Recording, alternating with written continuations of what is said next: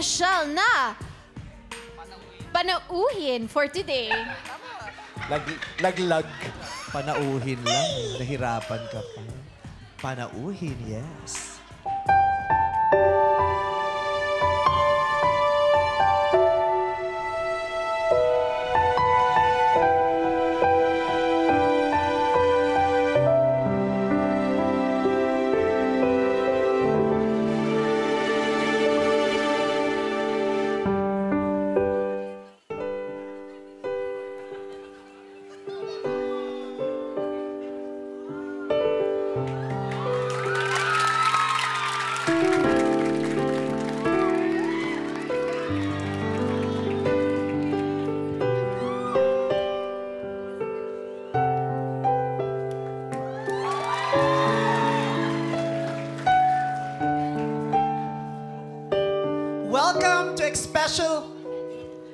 Special special edition na especially for you, Michelle D.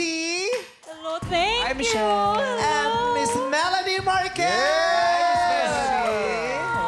Ang cute nila. to all of you. It's so, we're so lucky to have the most beautiful faces in the. Philippines. Dati din Thank naging you. hurado natin si Miss Melanie. Oo, showtimer talaga si Yes. Miss Melanie. Correct. Ang cute nila Actually, na first time ko kayo makilala, Showtime, bata pa ako. Dala-dala ko ng nanay ko. Ah, talaga? Bitbit ka ba niya noon? Ba't pa niya ako doon?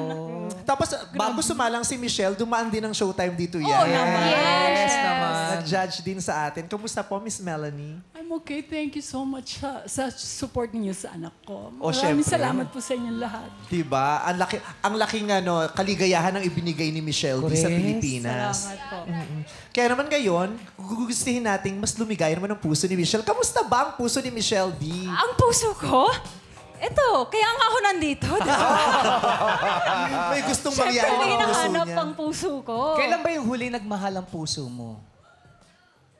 Lagi. Lagi. Kasi mahal ko lahat kayo. Mahal na mahal ko. Kung, kung wala mang the one, at least we have all of our kababayans. Yeah. Diba? Yes. Pero love life, kailan ka ba nagkaroon ng ano? Kailan, when was your last relationship? Matagal na, diba? Ilang years na? Matagal-tagal na. Parang 2020. 2020. four years. Four years ko. na siyang single. Ka- Gaano katagal yung pinakamatagal na single ka? hindi, hindi ka nagtatagal na sa dami ng parlor sa Makati. Grabe. Sobra ka naman. Ano? Ano? Huwag mo kang dyan na. Makati represent to. Taga Makati. Ah, Makati. Oh, wala ba? pala. Yes. Ikaw, mat- ma- may mahabang panahon bang single ka? Ah, wala. Mga isang taon. Isang taon. Wow. Pogi mo, no? Hindi, siyempre, may- importante yung meron ka pa rin inspirasyon kahit papaano. eh, Hindi ba? Kaysa lumugmok ka, magkaroon ka ng inspirasyon. Last year may liniligawan ako. Last year? Last year. Yun nga lang busted ako. Liniligawan ko kasi yung corona. Ah, yung corona. Ilang taon po ang binigay ko para sa corona. Pero hindi man naging official ang relationship mo with the corona, at least maganda ang inyong situationship. Yeah. Nagkaroon sila ng Yes. situation. Mayroon silang pagkakaunawaan ng dalawa ng corona. Yes. Correct. And with that, Yes, go. and with that, gusto ko lang sabihin, What's up, Madlang Pilipinas? Baka gusto niyo bumati ng WhatsApp Madlang International ni Miss Yeah. Mel. Isa-isa naman. Miss. Oo naman. What's up? International! Actually, napansin ko kanina, ang cute ng pagtayo nila habang pumasok sila. Lahat, nakatayo Yes. talaga. Yung tinig nila, pang beauty queen talaga. Correct. Oh. Manamanahan lang po. Kabugan silang dalawang mag-ina, no? Kanya-kanyaan din, din silang...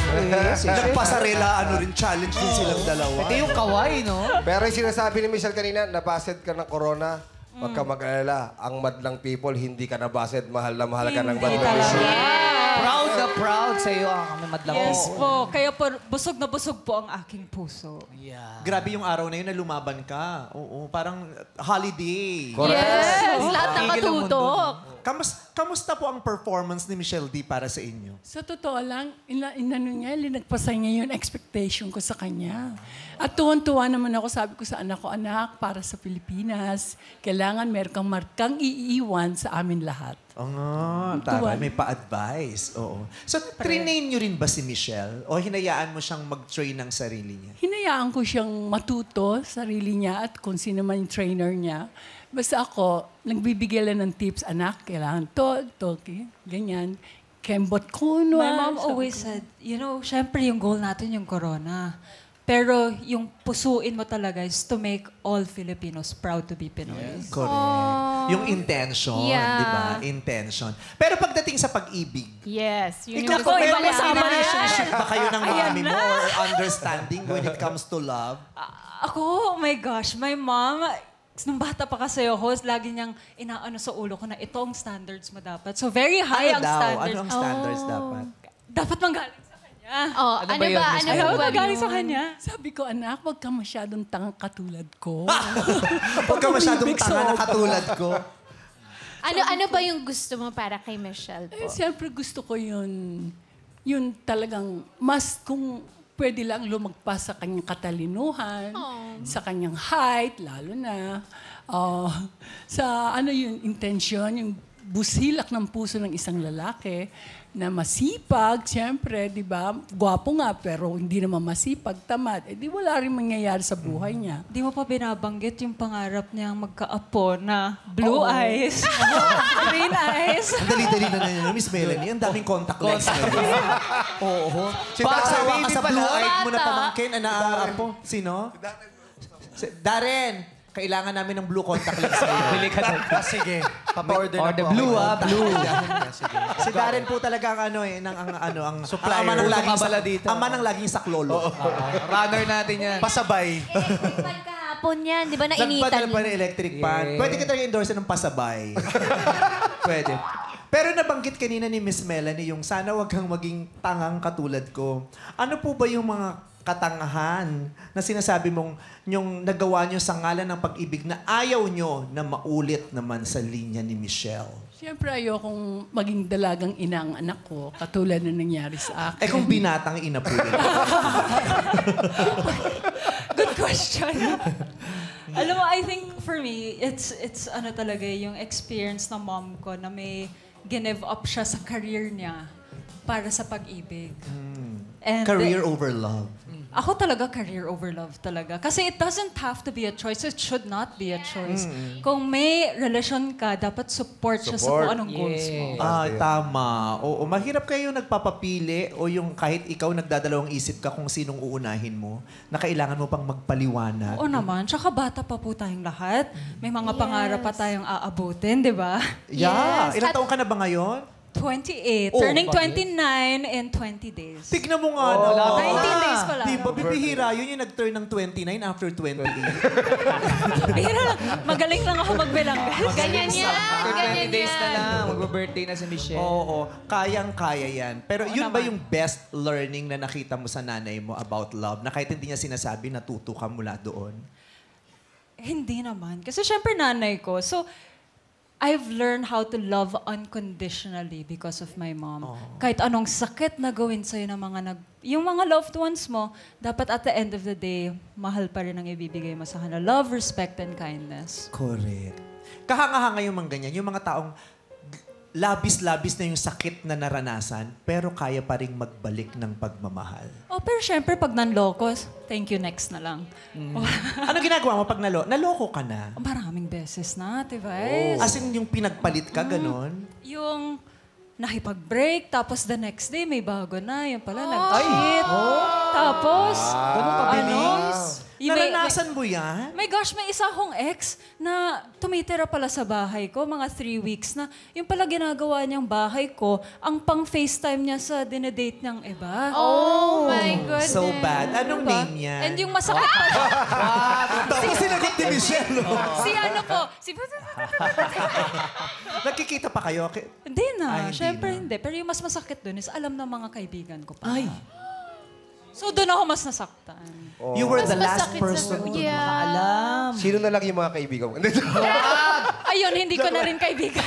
Pero pag ganon, di ba meron kunyari, may nangyayari sa relasyon nyo na alam ng mga kaibigan mo? Oo naman. If you are the friend, sasabihin mo. Kasi di ba yung iba narinig ko, ba't di mo sinabi, gusto ko sabihin, but, but it's not my story to tell. Yung ganon, yung para, paano ba yun? Kung ikaw yung friend, paano ba dapat ang ginagawa doon?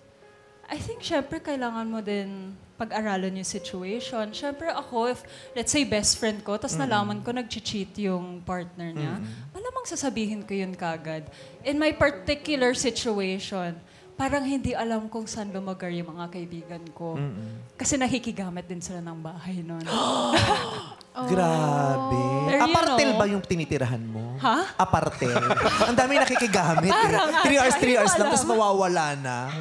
Ang battery. Pero was that your, ano yung ba yung worst na ano experience mo? Ano yung pinakamabigat o pinakamasakit na naranasan mo sa pag-ibig? I think yung itong pag-uusapan natin. Kasi yung ex ko na yun, yung recent ex, pinagpili ako sa career eh. Pinagpili ako sa relationship. Kala ko endgame na kami. And then kala ito mo, yung... Ito kala mo yung, magpapakasal, magkakatuluyan na kayo? Kasi perfect na sa simula eh. Eh yun nga, pa-start pa lang yung pageant journey ko. So siya yung kasama ko preparing, getting, losing all of my weight, mga training. Eh nanalo ako ng Miss, Miss World Philippines. So naging mas hectic yung schedule ko. Doon yung napansin na ito ang career ko. And nung nagsa-start kami mag-date, alam naman niya na artista ako, I'm a celebrity, pero hindi niya ata na-realize kung gaano ka-demanding ang industry. Minsan may makakahalikan ako na co-actor, minsan may long hours na hanggang 4, 5 a.m. Yun yung hindi niya na-get. So masakit kasi I had to let go of something that I thought was permanent for my career. Because I chose myself. Pinapili ka talaga? Oo, may mga instances na pinipili talaga ako. Did she do Diba? did, did she make the right decision? Feeling mo, Miss Melanie? Ako sa totoo lang, tama yung desisyon niya. Tsaka sana next time, yung medyo mataas sa kanya. You know, Kasi itong ex ko kasi na to, Particular ka sa height talaga, no? Huwag ka magala... Ay, papakilala ko si Yao Ming sa'yo. Single yata si Yao Ming. Seven plus. Seven four. Seven. yung gusto kasi na nanay ko, syempre, kapag magkakalalaki akong anak, dapat over 6 foot or 10. Talaga? Pero wag ka, itong ex ko na to, siya lang ang pinakilala ko sa nanay ko. Exactly. Pero naka-heels nung pinakilala mo kay Miss Melanie. Hindi, nagkamali siyang hindi naka-heels. Lahat kaya nga napansin ko na maliit siya.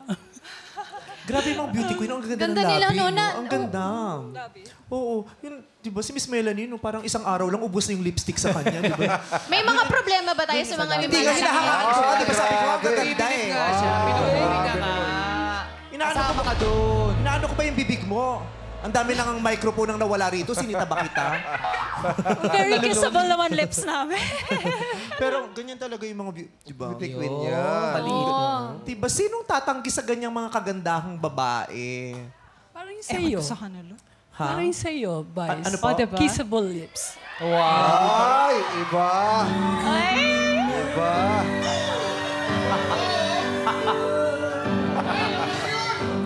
Ganon. Pero gusto kong tanongin si ano, Michelle, ano ba yung hinahanap mong katangian na gusto mo makadate?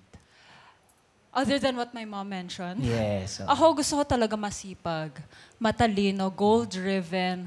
Ako kasi sige, I'll, I'll, mapapansin kita sa mukha mo. Pero magsastay ako dahil sa ugali mo.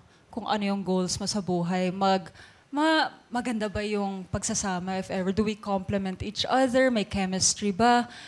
Yun, yun yung hinahanap ko. Siyempre yung kaya din akong alagaan. Kayang maintindihan kung ano yung goals ko din sa buhay. Kasi medyo marami akong goals sa buhay ko. Kailangan mayaman siya. Hindi. Hindi kailangan mayaman, kailangan hardworking. Hard work. Hard working. Kasi Kasi pwede naman kami magpayaman tamad ng sabay eh. Yeah, and someone who will be your cheerleader. My cheerleader, Diba? my best friend, my Taray, oh, confidant. cheerleader. Tapos kasal mo, no? Cheerleader. Nakaminis ka sa kapo. Hey, give me an A! Give me a B! Uy, pero it's so important Binabato, na you have someone rooting for you and your dream. Someone rooting for your kanal. Root ka niya, you have someone rooting for your kanal. Si Doc, ano si Doc? Ayan si Doc RFD, oh. Ay, Doc. She's, he is my one fri- friend always rooting for my kanal. Kanal. Diba? Ay, Crazy Dadaw-dawan. urban smile. Diba? Kahit pinakamalalim na kanal yan, i-root niya sa'yo. Pero mahalaga talaga yung supporter. Yeah. Supportive. Your support. Supportive support sa system mo. career. Siyempre, and especially, ang dami pang pwedeng mangyari sa buhay natin, di ba? It's not the time to restrict yourself. Hindi pa po yung panahon na to retire or anything. Kaya, I have to look for somebody that will complement that. Dami Kaya sana dito ko yun mapapano, ma makahanap. Yes. Mahana. Ay! Ay, nako, sana. Parang excited na nga si, ano, Correct. si Michelle, pati si Miss Melanie. Ako natatakot ako para sa kanila kasi nanay ko yung nandito. Oo nga eh. Hindi Baka iba friends. Hindi ex huwag kang mahiya, sabihin mo lahat ng gusto mo sa kanila. Diba? Tandaan mo na kasalalay dito ang kinabukasan ng anak mo. Makaka-apekto to sa kung ano mangyayari sa kinabukasan ng anak mo. Kaya kailangan sabihin mo lahat ng gusto mong sabihin. Ay, nawala yung ano ba? Andyan! Andyan! Sorry, sorry. Sorry, Miss Melanie. May tissue. May tissue. Adorado na. Naibog. Tabog. Tabogan ni Miss Melanie. Uy, natapo na sa pantalon niya. Eh, Eh, tissue. eh. Darren, tissue. Bumili ka pa kanina, Darren. My God. Sunburn! Sunburn yung tissue! Ayan. Binigla mo eh. Pinapatawa mo kasi habang umiinom ko. Ayan, naiyak tuloy siya, pero umiyak yung ilong niya. Ano po kasi, uh, Mahirap pala patawarin belated tong Happy nanay mo, April Michelle. Fools po. belated Happy April Fools. Happy birthday. Thank you Vice po, ganda. thank you po. Oy, balak mo pang ipahit, Miss Mela. Nakita-kita ko yung ano. Sumimple, sumimple. Oh, oh! Baka di pa tayo matuloy. Ako. Grabe. Ko, pasensya na kayo. Hulugan itong mga upuan. Yung problema, walang sasalo sa akin kapag nahulog ako. Wa- Huwag ka magalala. Andyan pa ata. Nandyan si Darren. Darren, baka may malaglag. Ikaw din bahala dito sa lahat. Inutusan na naman si. Ayan. Si Darren ang superhero. Okay lang kayo, Miss Melanie? Okay na, Miss Melanie. Oo, hindi, hindi ko kasi na-stop yung pagtatawa ko eh. Hindi ko ka talagang kasalanan mo. Vice ganda. pasensya na po, pasensya na. Mamaya hindi ko na kayo patatawanin. Diyan ka lang, ganun mo yung likod. Oo, tapos Oo.